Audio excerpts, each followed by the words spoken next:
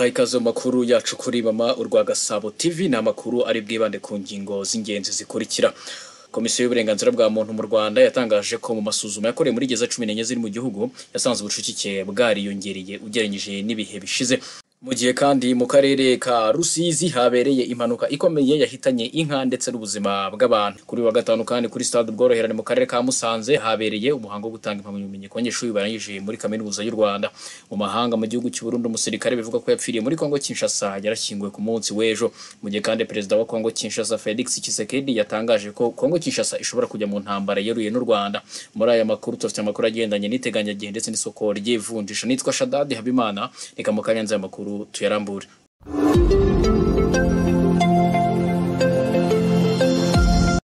ijabo life center ni umujyanama ku myitwarire yirukana umuze mu mubiri ugacukubiri n'indwara za hato na hato. Egera aba bahanga rero bahanga muri iyo mihangayiko ituruka kuri siterese cyangwa imirire mibi. Mu ijabo life center baragukorera reflexology. Ariyo nkanguramyakura detoxification ikura imyanda mu maraso hydrotherapy igabanya ibinure n'umubyibuho ukabije ikanasohora imyanda mu mubiri aromatherapy ihashya indwara zifata imyanya y'ubuhumekero ndetse na masaje ivura ibibazo by'umugongo n'andi mavunane. Ijabo life center bakorera i kigali. Iruhande rw'ahahoze gare ya kacyiru. Ahoroheye buri wese kuhagera. Hagamijwe rwo korohereza abatuye intara y'amajyepfo n'iy'uburengerazuba ijabo life center yabafunguriye ishami mu marembo ya gare ya muhanga mu nyubako imwe na mtn ndetse na sonarwa. Wanahamagara kuri zeru karindwi iminani ine mirongo itatu na karindwi mirongo itatu. Amagara mazima. Igisobanuro cy'iterambere rirambye. Reka nongere mbahe ikaze muri aya makuru yacu ku buryo burambuye. Ni amakuru ngiye guhera mu rwanda. Komisiyo y'uburenganzira bwa muntu yatangaje ko mu masuzuma yakorewe muri gereza cumi n'enye ziri hirya no hino mu gihugu yasanze ubucucike bwariyongereye ugereranyije n'umwaka ushize ko bwavuye ku ijana na makumyabiri n'icyenda ku ijana bugera ku ijana na mirongo ine n'ibice birindwi ku ijana. Ibi bikaba byagarutswe kuri uyu wa cumi na gatandatu gushyingo bibiri na makumyabiri na gatatu ubwo komisiyo y'uburenganzira bwa muntu yagezaga raporo y'ibikorwa by'umwaka wa bibiri na makumyabiri na kabiri na makumyabiri na gatatu ku nteko ishinga amategeko imitwe yombi n'ibikorwa byayo by'umwaka wa bibiri na makumyabiri na gatatu bibiri na makumyabiri makumyabiri na kane. Igenzura komisiyo y'uburenganzira bwa muntu yakoze mu mwaka wa bibiri na makumyabiri na kabiri bibiri na makumyabiri na gatatu yasanze gereza zitandukanye zicumbikiye abantu barenze ubushobozi bwazo ku kigero cyo hejuru ku buryo hari n'izirengeje ubucucike bwa magana abiri na cumi na gatanu ku ijana. Komisiyo yagaragaje ko muri gereza ya musanze ari naho hari ubucucike bukabije hafungiye abagera ku bihumbi bine magana cyenda mirongo itandatu na bane mu gihe ubushobozi bwayo buteganya kwakira abantu ibihumbi bibiri magana atatu. Bivuge ko ubucucike bugeze kuri magana abiri na cumi na gatanu ku ijana. Indi gereza igaragaza ubucucike bwinshi ni gereza ya gicumbi irimo abantu ibihumbi bitatu magana cyenda mirongo irindwi n'umunani mu gihe yakabaye irimo abantu ibihumbi bibiri.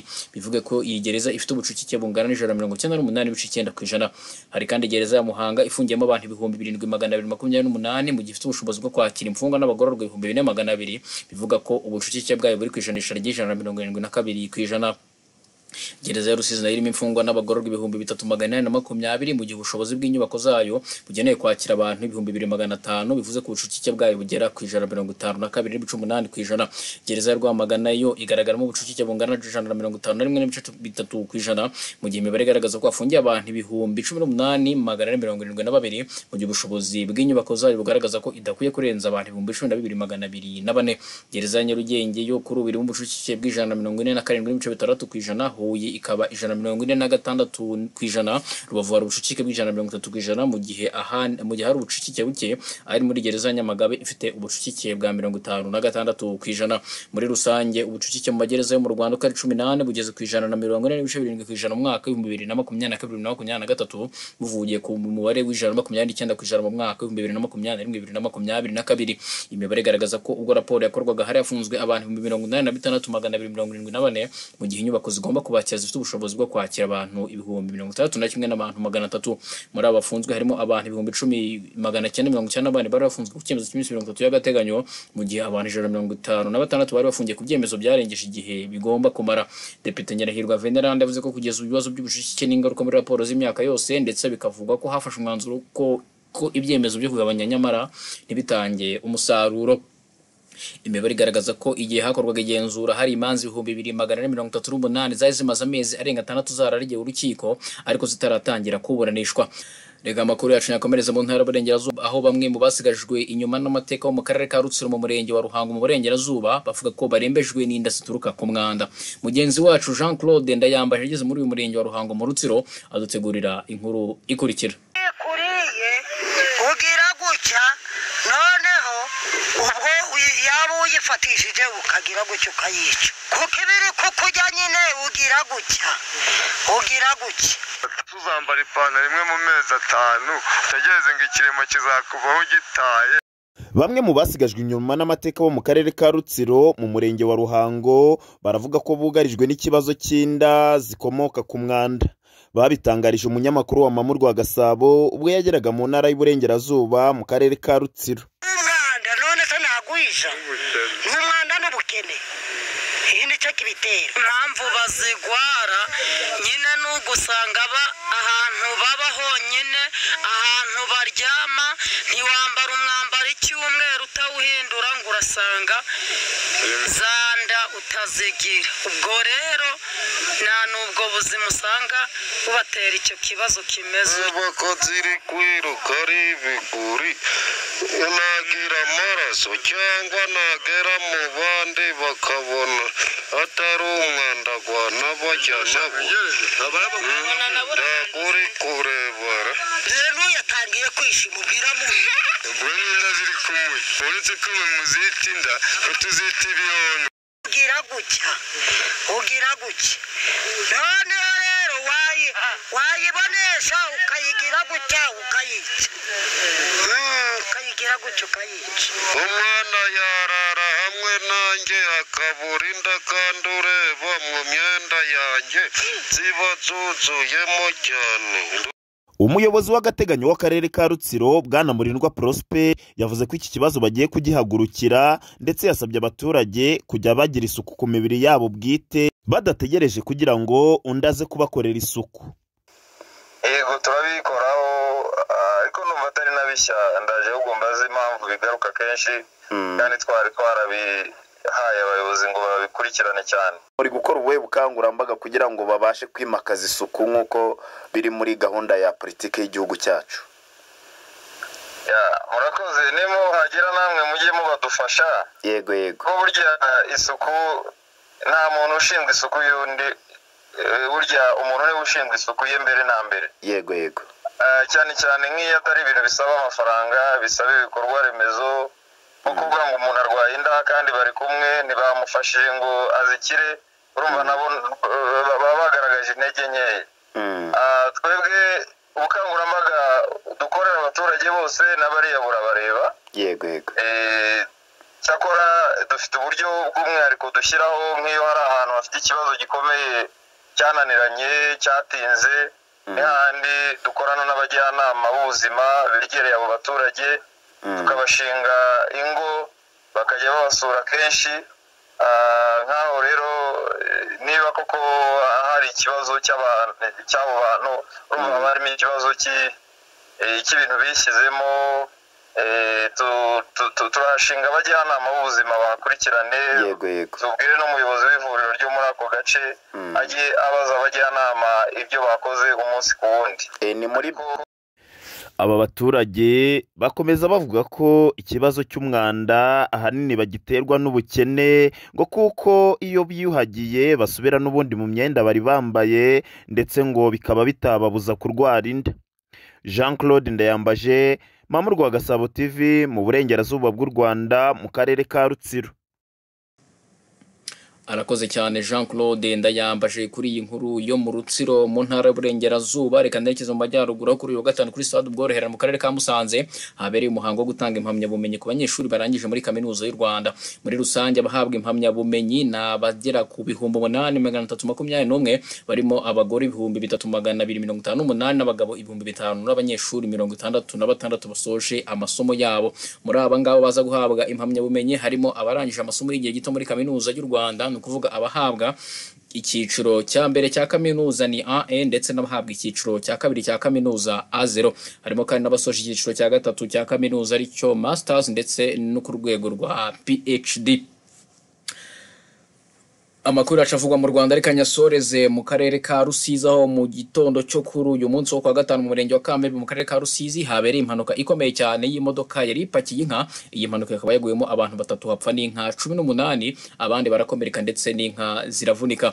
Mugenzi wacu Alfred Ntakirutimana yageze ahabereye impanuka adutegurira inkuru ikurikira.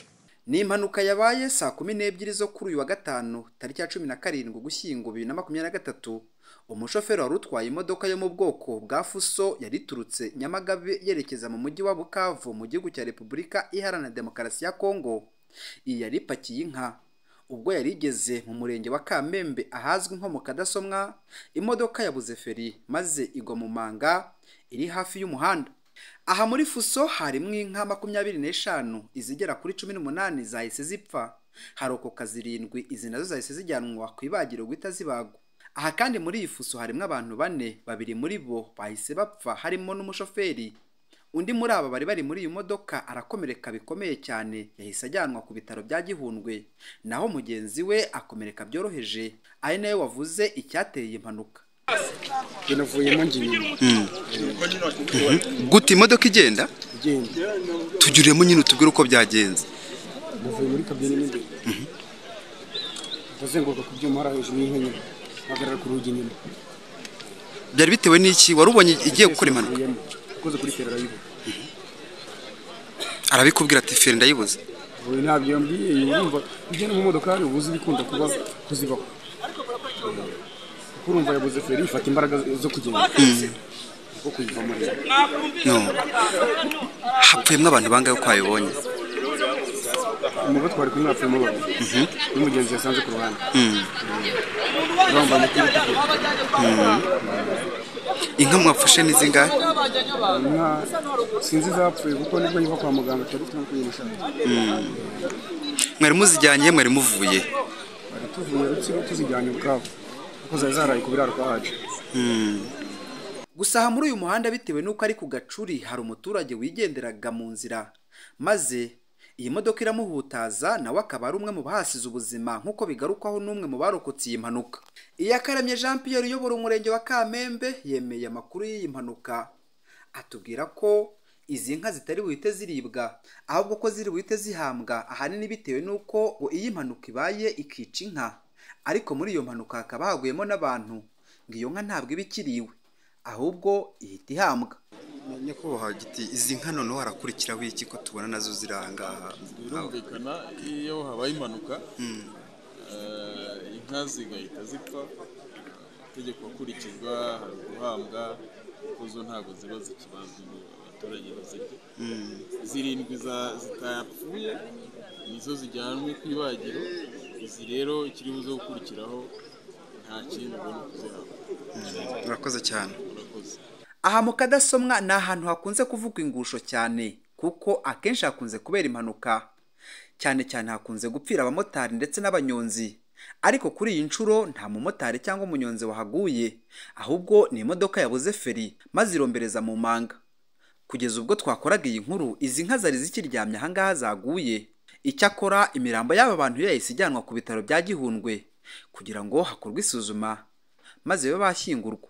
Nta kiruta imana. Alfredi mamurwa gasabo tv mu karere ka rusizi mu murenge wa kamembe.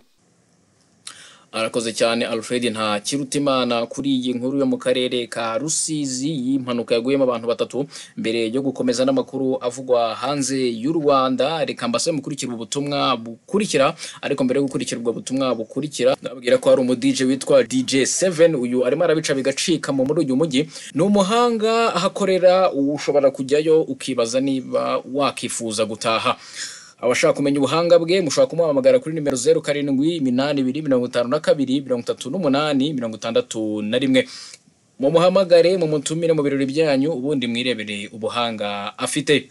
Urakora cyane ngo witeze imbere. Nyuma y'amasaha y'akazi tsirika icyaka winywere american gin. Gin yenganye ubuhanga n'ubuziranenge. American gin sangiza abandi uko umunsi wagenze musangire american gin. American gin ni inzoga ikorwa na nbg limited uruganda rwubatse izina mu gutunganya no gukora inzoga zenganye ubuhanga. Kirazira kunywa inzoga ugatwara ikinyabiziga. Kirazira kunywa inzoga utwite. Kirazira kunywa inzoga uri munsi y'imyaka cumi n'umunani. Tunywe mu rugero. American gin kinywaji tamu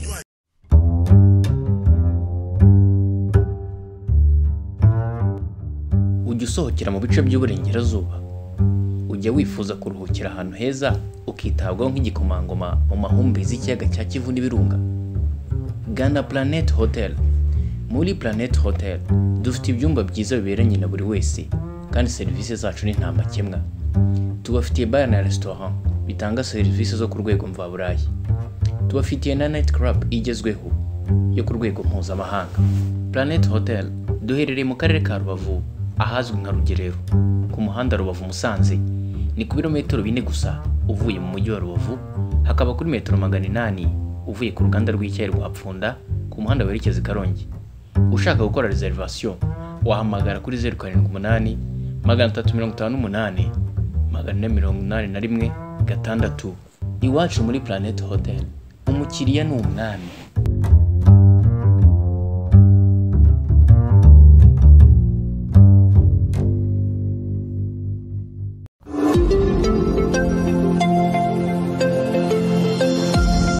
amakuru yacu avugwa hanze y'u Rwanda reka nyihere mu gihugu cy'u Burundi aho kuri uyu wa kane mu murwa mukuru Bujumbura ari bwo hashyinguwe umusirikare mukuru mu ngabo z'u Burundi bivugwa ko yaguye mu mirwano muri Kongo umutwe wa M23 wavuze ko wafashe bamwe basirikare b'abarundi mu byumweru bishize ko hari n'abapfiriye mu mirwano. Uyu mutwe wavuze ko wafashe nibura abagera kuri makumyabiri bari mu mirwano yayo na FARDC kuri uyu wa kane ni bwo Major Ernest Gashira hamwe bivuga ko yaguye muri iyo mirwano muri Kongo Kinshasa ku tariki eshanu gushyingo yashyinguwe mu cyubahiro gihabwa abasirikare.